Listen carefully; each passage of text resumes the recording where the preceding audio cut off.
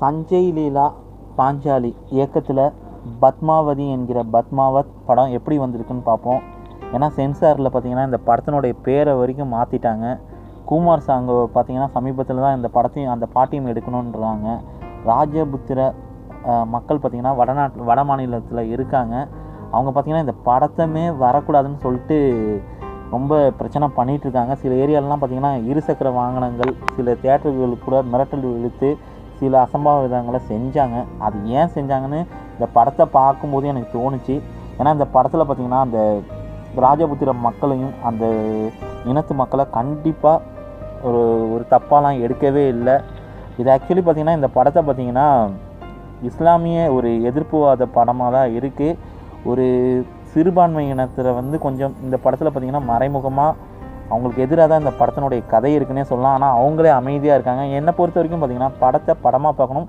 ஆனால் ஒரு எந்த ஒரு சமுதாய மக்களையும் ஒரு அசிங்கப்படுத்துகிற விதமாக ஒரு இன்சல்ட் பண்ணுற விதமாக எடுக்கக்கூடாது. படம் பார்த்திங்கன்னா ஒரு டிஸ்க்ளைமர்லேயே போட்டணும் இது ஒரு புனைவு கதை ஒரு கற்பனை கதைன்னு போட்டோம்னா ஆனால் இந்த படத்துலையும் போட்டிருக்காங்க. இது முகமது மாலிக் என்பவருடைய கவிதையோட காவிய கவிதையை மையமாக வச்சு தான் இந்த படத்தினுடைய கதையை அமைச்சிருக்காரு. சஞ்சய் லீலா பான்சாலி. அவர் மியூசிக்கும் இந்த படத்தில் பார்த்தீங்கன்னா வேற ஒரு மியூசிக் டைரக்டரோட சேர்ந்து பண்ணியிருக்காரு. உண்மையிலே பின்னணி இசையெல்லாம் மிரட்டியிருக்காங்க. உண்மையிலே இசையும் பாடல்கள் பார்த்திங்கன்னா சில சாங்லாம் அவ்வளோ சூப்பராக இருக்கும் அந்த குமார் சாங்கோடைய அழகு பார்த்தீங்கன்னா அவ்வளோ சூப்பராக இருக்குது அதுக்கப்புறம் பார்த்திங்கன்னா சாகித் கபூரோட ஒரு லவ் சாங் வரும் தீபிகாவுக்கு. அந்த சாங்கும் அவ்வளோ சூப்பராக இருக்குது இதில் பார்த்தீங்கன்னா லீடிங் ரோலில் அந்த படத்தினுடைய பெயர் பத்மாவத். அந்த டைட்டில் ரோலில் பார்த்தீங்கன்னா தீபிகா படுகோன் நடிச்சிருக்காங்க. அவங்களுடைய ட்ரெஸ்லாம் பார்த்தீங்கன்னா அவ்வளோ சூப்பராக இருக்குது ரொம்ப அழகு பதுமையாக ஒரு அழகு அழகு பதுமையாக வந்துட்டு வராங்க. ஒரு ஸ்ரீலங்கா ஒரு ராணியாக இருக்காங்க. அங்கே போகிற இடத்துல பார்த்தீங்கன்னா சாகித் கபூருக்கு தீபிகா படுமோன் படுகோன் மேலே ஒரு லவ் வருது. கல்யாணம் பண்ணிக்கிறாரு. பார்த்திங்கன்னா அவங்களுக்குள்ள ஒரு காதல் கட்சினா ரொம்ப ஒரு எ- ஒரு எல்லை மீறாமல் ஒரு அழகாக எடுத்திருக்காங்க. மேலே சாகித் கபூர் தீபிகா படுகோனுக்கு உண்டான அந்த கெமிஸ்ட்ரிலாம் நல்லாவே ஒர்க் அவுட் ஆகிருக்குன்றாங்க ஒரு மகாராஜா ஒரு மகாராணி எப்படி இருப்பாங்களோ அதை உண்மையிலே சூப்பராக எடுத்திருக்காங்க. இதில் பார்த்தீங்கன்னா ரன்வீர் சிங் பார்த்தீங்கன்னா ஒரு முக்கியமான அந்த அலாவுதீன் கில்ஜிங் கேரக்டரில் ரொம்ப சிறப்பாக நடிச்சிருக்காரு. மனுஷன் நடிச்சிருக்காருன்னு சொல்கிறத விட ரொம்ப வாழ்ந்திருக்காருன்னு சொல்லலாம். அந்த ஒரு அலாவுதீன் கில்ஜி அவரை பார்க்கும்போதே நமக்கு ஒரு வெறுப்பு வரும். அந்த கேரக்டராக வாழ்ந்திருக்காரு. ஒரு மிருகத்தனமாக ரொம்ப யதார்த்தமாக நடிச்சிருக்காருன்னே சொல்லலாம். கண்டிப்பாக இந்த படத்து மூலிமா அவருக்கு ஒரு நல்ல பெயர் கிடைக்கும். நிறைய விருதுகளும் காத்துக்கிட்டு இருக்குன்றாங்க.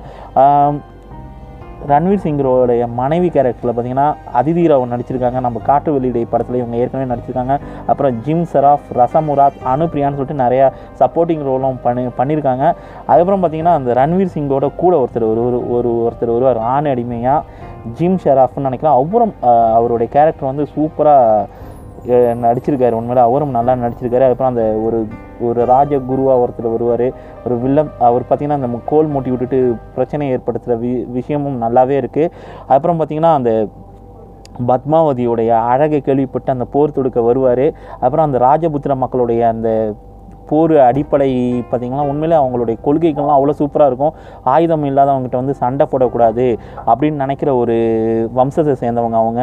இவர் அலாவுதீன் கில்ஜி பார்த்திங்கன்னா எப்படியா இருந்தாலும் ஜெயிச்சே ஆகணுங்கிற அந்த ஒரு வெறியோடு இருப்பார். நம்ம எப்படி வேணாலும் சதி பண்ணி கூட ஜெயிக்கலாம் ஆனால் நம்ம ஜெயிச்சே ஆகணுங்கிற ஒரு இதில் இருப்பார். பார்த்திங்கன்னா பல சதி திட்டத்தோடு தான் வருவார்.